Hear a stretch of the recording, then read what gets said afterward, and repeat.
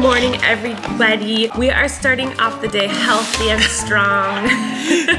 if you're wondering how to gain 70 pounds during a pregnancy, you've come to the right place. So there's a new meal called the Saweetie meal at McDonald's, which is totally my jam, and I have bought it before and didn't film it. Trisha just did this, I think. Shout out to her. But it's basically just a Big Mac, fries, and a four-piece chicken nugget, and the Saweetie sauce, which I didn't try the Saweetie sauce before. It's Saweetie and sour sauce. Oh, so it's just sweet and sour. So it's just sweet. I was thinking this would be like some crazy meal. But I was like, who's Saweetie? Don't come for me. I'm an old woman. And then Kory's like, she's the girl goes, she's my best friend. I Just like, sings that tat tat tat. Dance Oh, really? No, no, no, no, no, no, no, ding, no, dana. no. Okay, so we dip, I'm assuming the nugs. Yeah. Also, I guess you're supposed to put fries in the Big Mac and like put Smart. ketchup on. it. I don't know. That's what Ketchup? she does. She's like premix it. So I'm gonna put some fries on my Big Mac. Okay, okay. But yeah, let's try this queen. Mmm, I've never put sauce on my nuggets. I always do them dry. I always have to have ketchup. I like a dry nug. Mmm. mmm.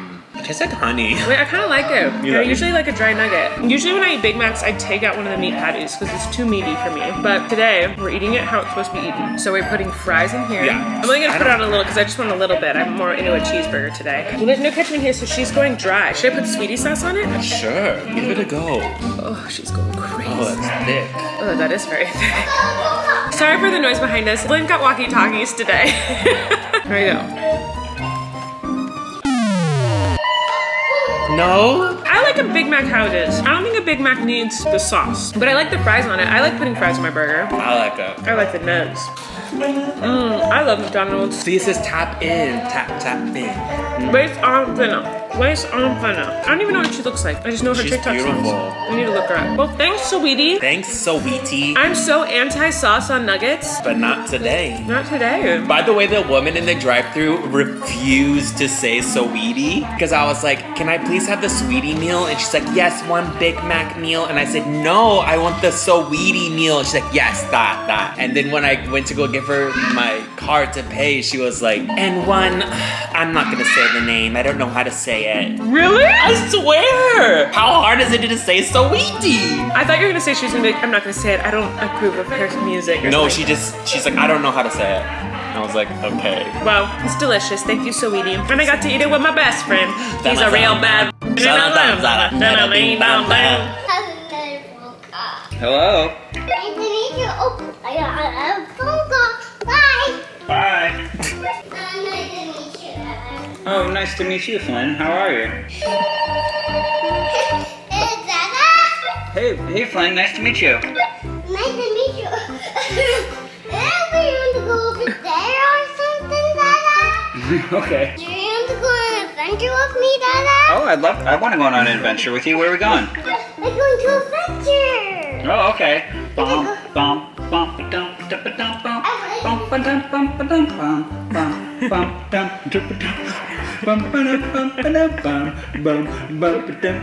Adventure time. This has been going on for like an hour. Just Erik talking to him on the walkie-talkie. Flynn doesn't understand how it works, so he just like talks into the air. We might go to Christopher and Jessica's house today. Jessica is this close to going into labor. We are waiting on pins and needles to meet sweet little Teddy. I am so excited. And um, we realized we don't have any pictures or videos of our big bumps because she obviously has a very big bump. She's very pregnant. Anyway, I might be going over there and spending some time with them today. We'll see. I have a phone meeting. I have a lot of boring stuff to do today that I probably won't film. But I'll see you guys very soon. Goodbye. Hello everybody. I'm at my family's house and I haven't filmed anything because I'm always really bad when I'm filming here because I'm just like having fun with my family. But we're filming a great video for their channel and um, we're gonna do a mukbang for my channel because Jessica and I are pregnant together and we can finally be pregnant together. And I'm just so excited. But it's been fun. Hi. Hello. How are you? Who should I talk to, the camera or you? Whatever you feel in the moment. Momentarily, I feel the camera. Hello. Momentarily. Momentarily. Momentarily. I thought you said like Mama Tara Lee. Like Sandra Lee. Plot twist, I actually did say that. Mm-hmm. Well, got you good. Are you playing with cars? What's the car say? Yeah, that's so cool. Oh, Flynn, are you gonna fix that for me?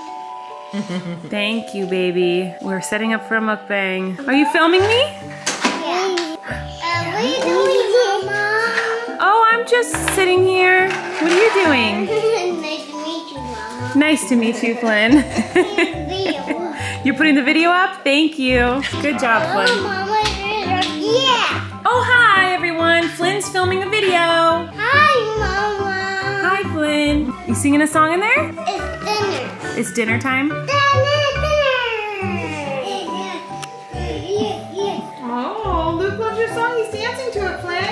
Flynn. Yeah. He likes it.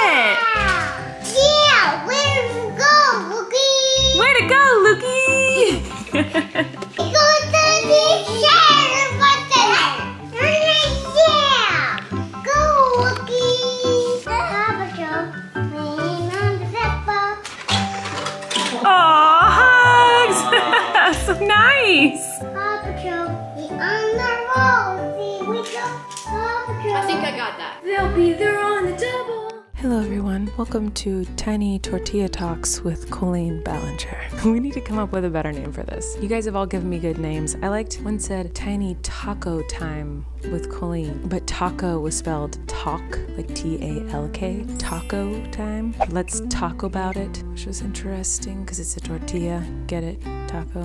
You get it. Tiny Talks with Colleen, tiny tortilla. I don't know why I'm saying tiny. It's like the biggest tortilla in the universe. It's not tiny. Hello, everyone. So, obviously, as you just saw, I did not film very much today. I had a blast at Christopher and Jessica's, but we were filming videos for our main channel. So, like, I didn't think to vlog because we filmed a mukbang for my channel. We filmed like a really fun video for their channel. And that's what we were focused on. And we just were not, I didn't just didn't think about vlogging. So, I didn't really vlog while I was there. So, I thought, what a perfect night to have a tiny tortilla talk with my tiny little microphone. I was gonna ask you guys for questions because I usually do. I'm usually like, oh, I'm gonna ask them for questions tonight. But I started thinking about something tonight and I was like, actually, I'm gonna talk to them and I'm gonna ask them questions. So I have a question for you guys. The chair that I'm in is so squeaky and it drives me bananas how squeaky it is. Oh no, hold on a second. I thought Jessica was saying she's in labor. She's not in labor. God, I'm so stressed about that. Every time I look at my phone, I think I'm gonna open my phone to her saying, like, I'm in labor. So, putting Flynn to sleep tonight, he has a nightlight, and the nightlight went out.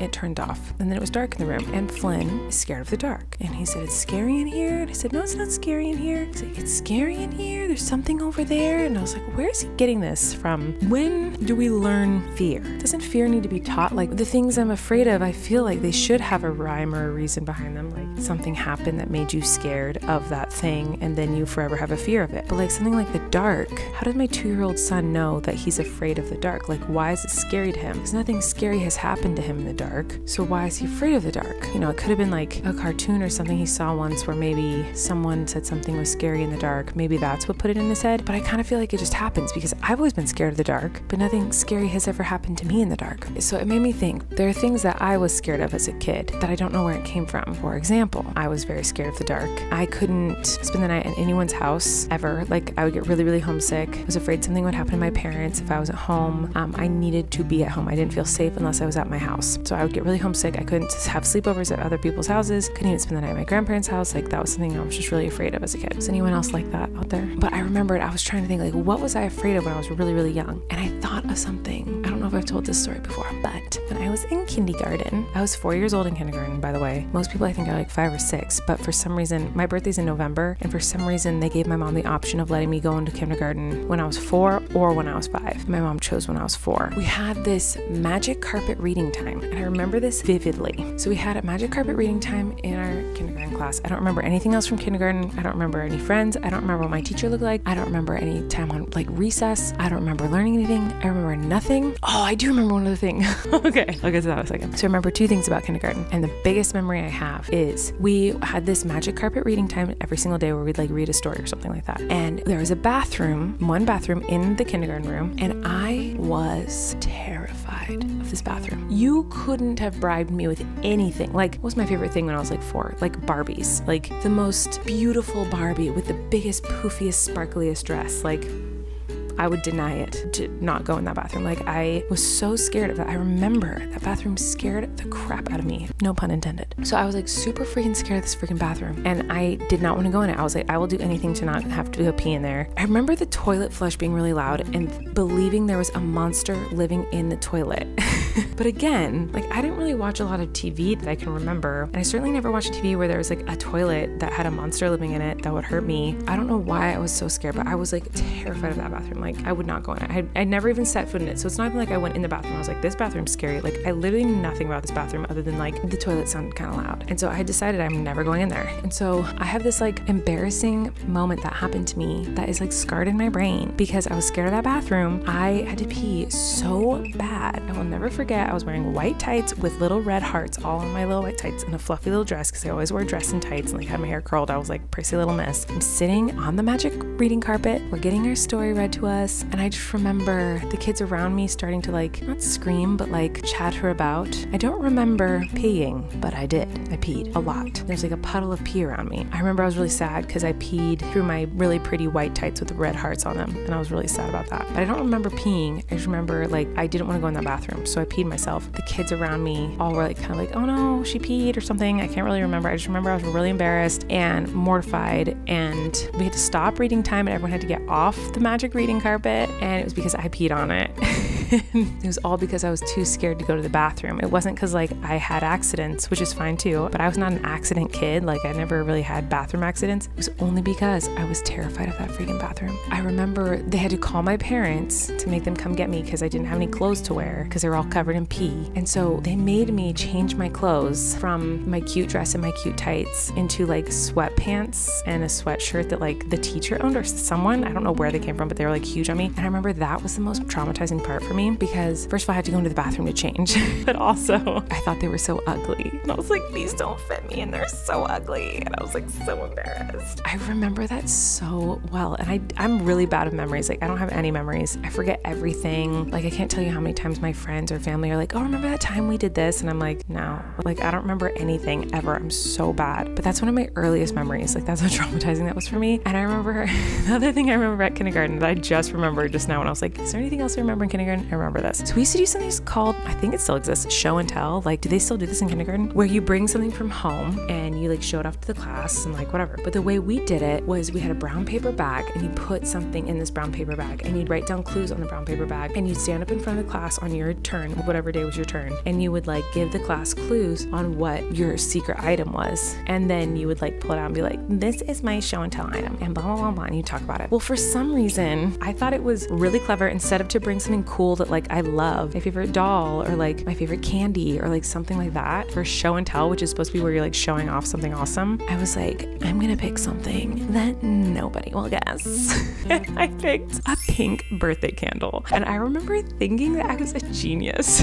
I was like four or five at this point. I remember thinking like no one will guess this. This is genius. Like no one will suspect a singular birthday candle. And so I put this birthday candle in my paper bag and I was like, I'm a freaking And then I came up with the questions or the clues with my mom. And I don't remember what they were, but I'm sure it was like, I'm made of wax. You blow me out on my birthday. Like I'm sure they were like really easy or something. But I thought no one would guess it. And I was like so proud of myself. I thought it was so genius. And I just remember standing in front of the class and giving like one clue. And the whole class was like, it's a candle. and I was so sad. I remember I was so sad. I was like, how did they guess it so fast? And I like had to pull up my like lame pink little singular birthday candle that had already been used, by the way. So it was like like the burnt wick. And I was just like, this is my candle. And then I'm like, I have to talk about it, why it's special to me. And I was just like, I like the color pink. It's like so stupid. So yeah, those are my only two memories from kindergarten. And the whole reason I brought that up was because I just thought it was interesting that my son has developed a fear of the dark. Understandable because I'm afraid of the dark and I'm an adult woman. But like, where does that come from? Why are we scared of the dark? And why does that start? And how do fears start in general? Because then I have some fears that I'm like, why am I afraid of that? Like, why do I have a phobia of like stickers that go on fruit? Why? Like, nothing happened to me with stickers that go on fruit. I don't know why I'm like so uncomfortable. They make me literally gag. Like, I think they're so horrendously foul and disgusting and gross me out. I wouldn't say it's a fear, but it's like a phobia. It's a, it's just, they, they're, they're disgusting to me. Like, they literally, like, I can't, like, if I'm about to eat an apple and there's a sticker on it. I had to cut off a huge chunk of the apple that is attached to this. I won't peel the sticker off. Like the thought of that is like disgusting to me. I cut off that part of the apple and I have to throw it away. It has to be out of my sight before I can cut up the rest of the apple and eat it. Where did that come from? Why do I do that? Nothing traumatizing ever happened to me with stickers. That's really weird that that exists in my brain. Like other things I'm afraid of. I mean, bugs, but like that's because bugs are gross. So that one makes sense. And also, Flynn's like scared of like alligators. Like he's always like, there's an alligator in that closet. Like if he sees a dark closet, he's like, is there an alligator in there? Like he's scared. He's so scared of alligators. But we've never shown him a scary video of an alligator. And so I don't know why he has a fear of alligators, but not other big animals, like not lions or, you know, so weird that human beings like just develop fears. So anyway, do you guys have thoughts on this? What were you afraid of as a child? Did you have any irrational fears? I'm trying to think if I had any irrational fears as a kid. Another big fear I had as a kid was like we had this like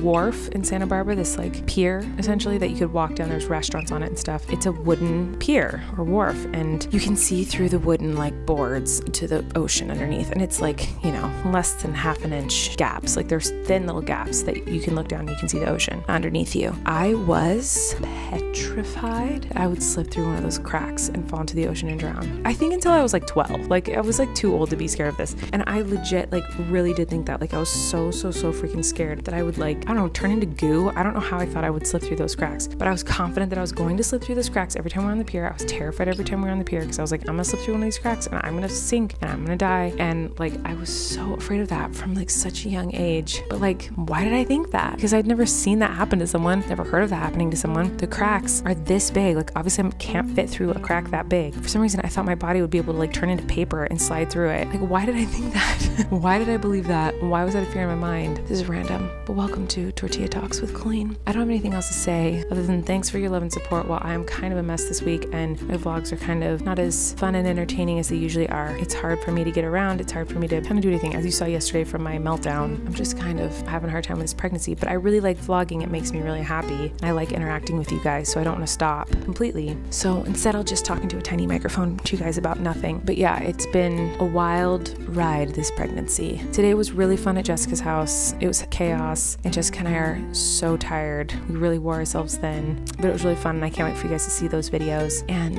I'm gonna go to bed because I'm really tired. My babies are kicking me so much right now. there's a bug. God, there's so many bugs in LA right now. You guys, you have no idea. Like, there's flies and gnats everywhere. It's disgusting. They keep getting in my house. There's and there's always one in the office. There's always like at least one little gnat that like is near my face. There's me crazy. It's on my water. Get off my water, you freaking gnat. Anyway, I'm gonna go. I love you guys very much. Have a wonderful day. I'll see you tomorrow. You're amazing. Goodbye. You can relax.